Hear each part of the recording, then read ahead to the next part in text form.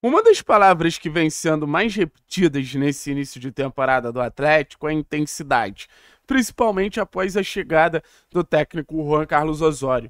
A cobrança por um jogo mais intenso, a expectativa por um Atlético mais competitivo, faz com que essa palavra seja ainda mais repetida, além de ser, obviamente, um pilar dos trabalhos do treinador colombiano. E para isso, eu acho que a gente precisa decifrar rapidamente o que, que é a palavra intensidade. É quase a velocidade que esses mosquitinhos estão passando na frente da câmera.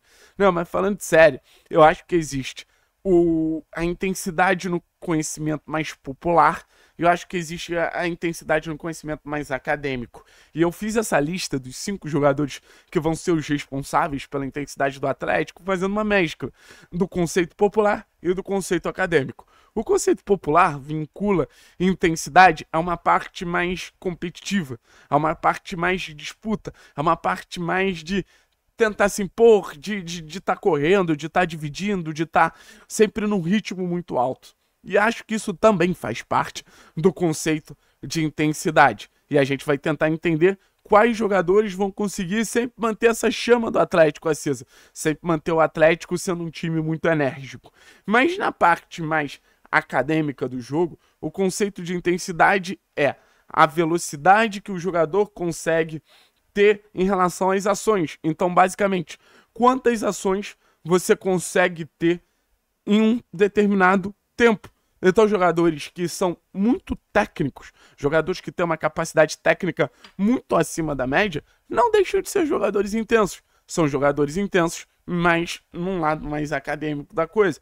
Porque, por exemplo, o Zapelli toca muito na bola, participa muito do jogo, mas no ritmo dele.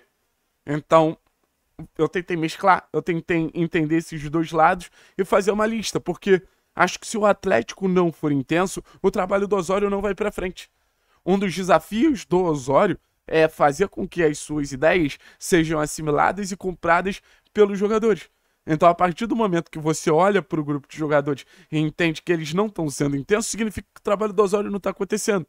Então, é muito importante que esse conceito de intensidade seja algo desenvolvido pelo grupo, comprado pelo grupo, porque é a partir desse conceito que eu acho que a gente vai ter um ano de sucesso, beleza? Vou pegar minha listinha aqui, né? Porque ninguém é de ferro, precisa ter o roteirinho. E eu vou começar no número 5 com dois jogadores, tá? Se vocês me permitem dar uma roubadinha, mas pelo efeito que esses dois jogadores acabam tendo em campo, que é algo muito semelhante. Acho, inclusive, que quando se aproximam, é, costuma dar muito bom, costuma sempre acontecer um jogo muito legal, que é Fernandinho Zapelli, porque são os jogadores responsáveis pela pausa e pela aceleração. Ou seja, estão sempre tocando na bola porque eles ditam o ritmo da equipe. Então, até quando a gente buscar ter um ritmo mais elétrico, enérgico, um Atlético que faz muitas coisas num curto intervalo de tempo, passa por Fernandinho e Zapelli. Eles não necessariamente são os caras que vão correr muito, vão disputar muito, mas são os caras que vão botar os jogadores para correr, são os caras responsáveis por é, botar os jogadores em disputa. Então, eles são os pontos de conexão da equipe. Eu acho que sem Fernandinho e Zapelli, o Atlético vai ter vários jogos desconexos. Vai ter o jogo do Canob, vai ter o jogo do Christian, vai ter o jogo do Bernardo Romeu, vai ter o jogo do Pablo. A importância de Fernandinho e Zapelli é fazer todos esses jogos se conectarem e se entenderem. Ser o famoso jogo coeso, ser o famoso jogo com fluidez. Então, acho que esses dois não podiam ficar fora dessa lista inicial. Número 4, Leonardo Godoy.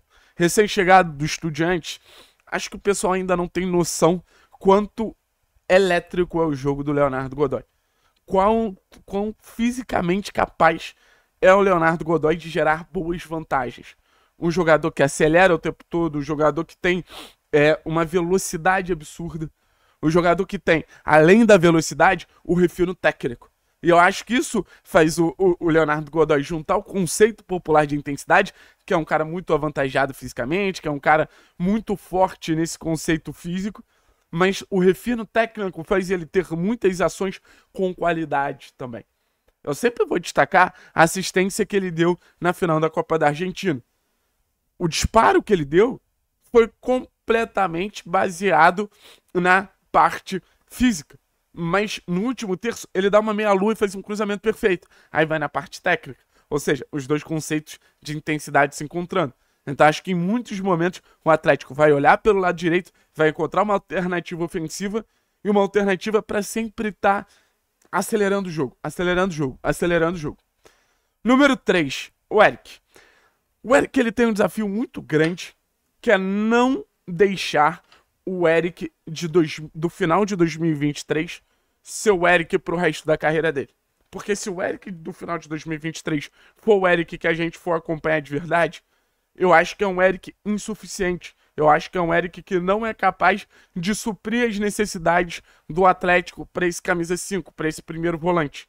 Então acho que o Eric ele precisa buscar forças para ser muito mais o Eric do primeiro semestre, porque defensivamente o time depende muito do Eric. É o cara que protege entre linha, é o cara que rouba a bola, é o cara que preenche o meio-campo. E o Eric ele tem esse pulmão para fazer esse preenchimento, para fazer essas transições. Só que ele precisa de alguma maneira recuperar esse Eric. Não sei como, mas ele precisa recuperar esse Eric. Número 2 e o número 1, um, estatisticamente, pela análise física do clube, são os jogadores que dão mais sprint, são os jogadores que correm mais, que pressionam mais, que disputam mais. E o número 2 é até curioso, porque é um jogador que fisicamente costuma ter problemas, que é o caso do Christian.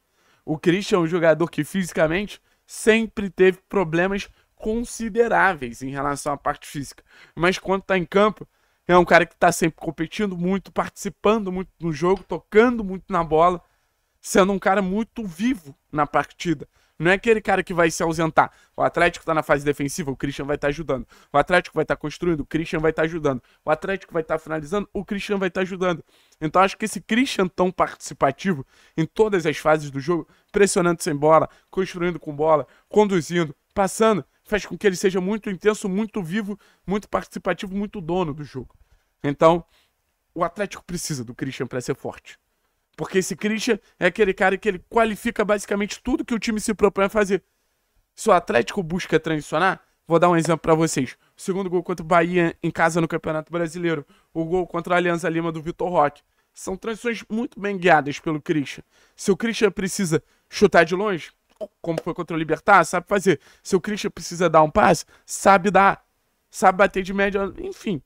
É um cara que o ritmo dele é tão intenso, não necessariamente tão intenso quanto do Canobi, mas é tão participativo que ele é considerado um jogador intenso internamente e assim, se você perguntar para a maioria dos profissionais que trabalham com o elenco do Atlético, a maioria vai te dizer: "Cara, se tem um jogador que eu gosto é o Christian, se tem um jogador que eu gosto é o Christian, se tem um jogador que eu gosto é o Christian".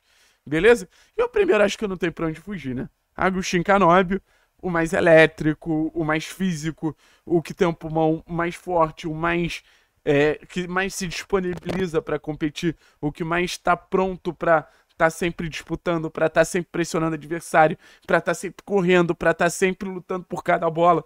A postura, a personalidade do Canobi faz com que ele seja um jogador muito melhor por ser tão voluntarioso, por ser tão solícito ao que o jogo pede. E acho que se tem uma característica de um jogo intenso, é essa. Tá disposto a entregar tudo que o jogo te pede, porque o jogo vai estar tá te pedindo sempre. É um jogo de alta cobrança, é um jogo de alto equilíbrio.